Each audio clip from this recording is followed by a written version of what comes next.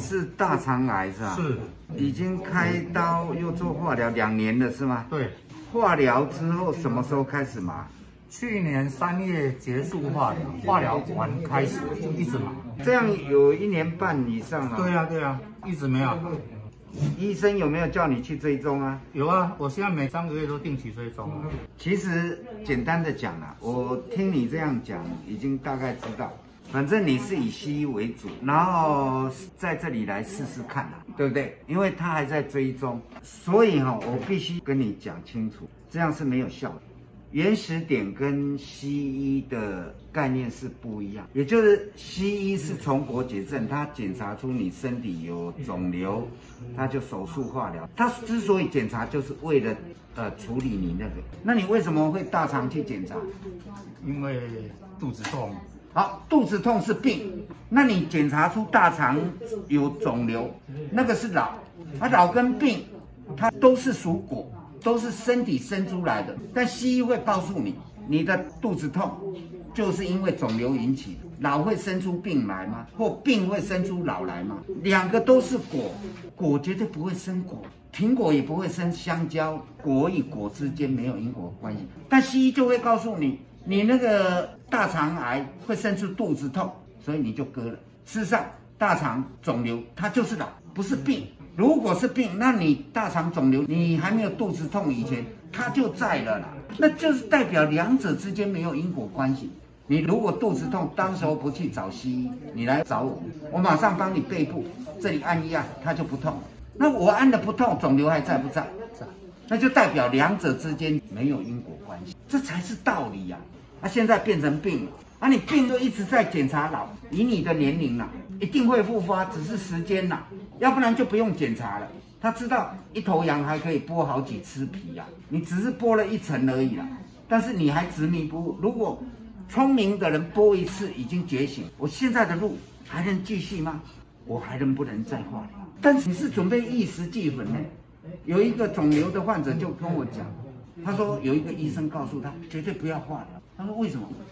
他说化疗是大炮打苍蝇啊，啊苍蝇打打下去，苍蝇死了，整棵树也倒了。你愿意每天都是病，然后奄奄一息的，然后又不能延长生命，因为这样搞一定死得快。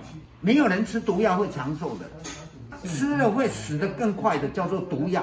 他喂给你的就是毒药，但医学不管你这个，我不保证你能活着出去，我只负责割你的肿瘤。所以当割的时候，有些人过程中就死了，他会讲一句什么话？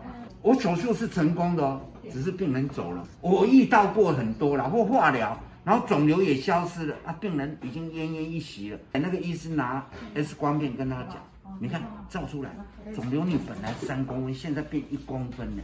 哇，他就很高兴啊，感激感激。隔一天他就挂了，家属就告医生，医生怎么讲？我是成功的啊，因为你们来是要治疗肿瘤的，我又没有保证你能活着回去，所以你们都有签切结书啊。嗯，哦，所以家属也没有，到最后的纠纷都是医生有，糊涂的是你们，因为你们没有想清楚，然后你们到底是为了活而去的，还是要跟肿瘤做一截断，甚至我连命我都愿意付出，跟他一搏。然后把肿瘤割掉，所以西医都会赞叹你们抗癌的战士。然后很多人就在这个战场一个一个倒下去，死的不是死在死在毒药，死在手术，只有把身体搞坏才会死人。你现在手麻在哪里？整个手掌，从这里都在麻，对，从这里对，两手，好，这里痛不痛？哎，不会，这里呢？不会，这里到这里还麻不麻？你现在试试看，看有没有改善。好像有比较改善一点点，我再按深一点，这里痛不痛？痛，好，你在感觉这一段而已，这里我还没有处理，这里有没有比较松？好像有，有一点，好，我再帮你处理这里。你现在是这里麻是吗？四根，五根手指都麻，连拇指也麻，都麻，这里痛吗？不会，好，这里也还好，这里都没有特别痛的地方，对不对？对，这样很明显，我这样按完应该就知道了。这个叫患处体伤。那患处体伤它为什么会这这样子？它一定犯了一个错误的动作。你是不是常常握拳出力做这个动作？有，手麻会变成患处体伤，一定是他已经时间那么长，时间那么长，照理不会患处体伤，多属他处体伤，也就是我们只要按他就能解症。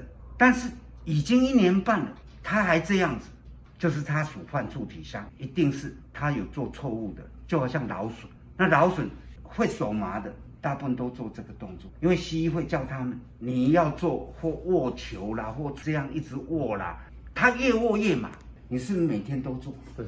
这个才是重点。那你按死了都不会好，这个我处理太多了。我一路都在研究癌症。啊，西医如果夜麻，你去找他，他也会叫你这样，甚至握球。那这个肯定不会好。手麻，你那个叫做患处底下，不要再按。嗯嗯。你现在第一个先戒掉，你只要戒掉，很快就会好。然后温敷，然后你可以做这些动作。嗯，刚好反方向的做。啊，伸展可以。脚是从哪里麻？脚整个。小腿以下，这里真的不得了哎，这样会不会痛？有一点，这一点呢？这一点比较痛。现在脚的感觉跟刚刚比起来，有松一点，有松了哈。哎，那你如果揉完有比较轻松，那就是我说的他处体。是，那他处体伤就是要运动臀部，走路换成一步两阶趴。你看为什么要爬楼？这里一撑起来，嗯，这里就松。只要你能够如实这样。那你脚麻很快就会好，那加油了。请老师补充说明。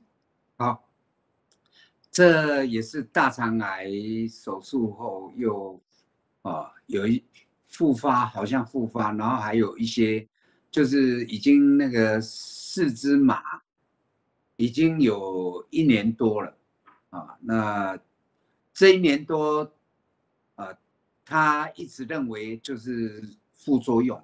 啊，化疗的副作用，那以原始点麻多属他处体伤。那刚刚大家也看到了，啊，那个手指头会麻。如果已经那么久了，照理哈，一般是开关没有开，大开关没有按推了，才会一直麻。那以原始点应该是最擅长，那按推完一般都会比较呃改善。那如果万一一点点改善都没有，尤其手指麻，我也按过哈，呃，手背部原始点，如果没有改善，那这个几乎可以百分百分之九十以上就可以猜测，他一定有做一个动作，就是手握拳，他常常做，因为患者越麻，他越越担心，然后越担心就越做握拳的握拳出力的动作，那反而。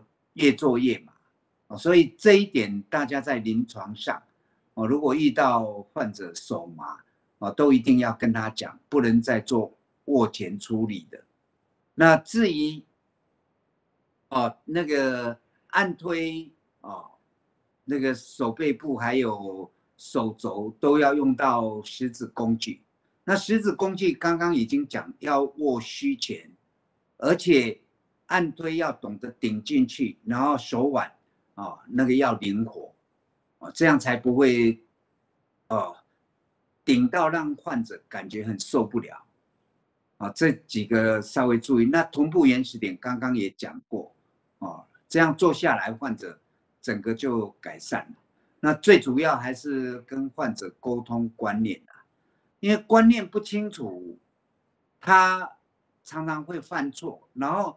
他还在定期追踪，那定期追踪很危险呐，哪一天又复发了，西医又说要开刀了或化疗了，都会增加患者身体的负担，哦，所以这些观念还是要跟患者讲清楚，然后我都会叫他们，哦，一定要看礼拜天的直播，也也就九点到十一点啊，这个这一段时间一定要看。好，我就补充到这里。